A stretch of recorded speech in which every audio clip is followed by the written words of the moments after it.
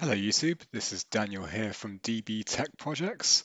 I've got a little um, PowerShell script which, I just want to show you guys. Um, if you've if you need to do any monitoring uh, early on during the day, you just want to check a load of URLs um, for your company or external websites, um, this little PowerShell script will help you do it.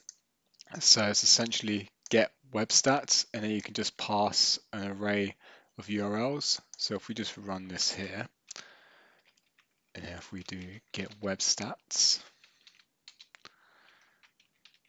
we're just going to provide a list of URLs. So if we do google.com, twitter.com, and then we'll go for facebook.com and YouTube.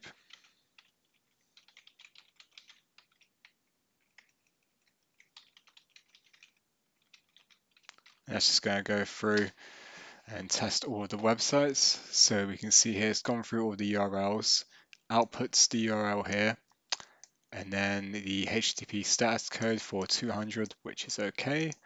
And then it just prints out the date here.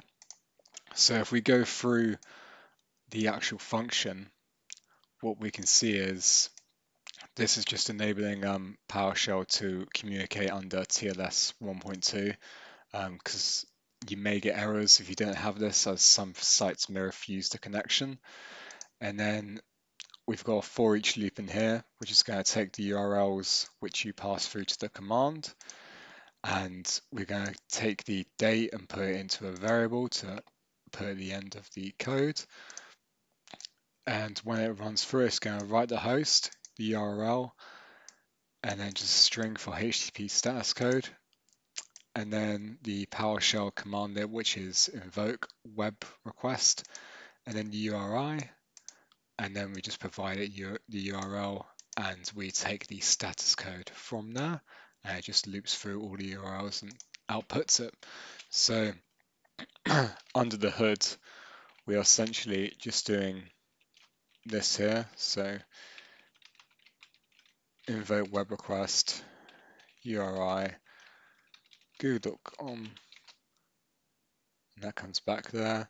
So if we just put this into a variable for let's say dollar request equals invoke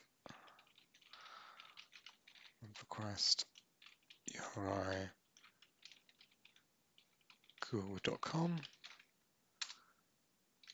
and then we just do dollar request dot status code, and that gives us 200 to show the URL is okay. Um, so as I said, it's just a quick little um, script which may help you out when you're monitoring a load of websites. Um, I've got a GitHub link for this, which I'll place in the description. I've got plenty more videos coming up with um, a few PowerShell scripts and some other projects up and coming on the way. So check out for those. Thank you and goodbye.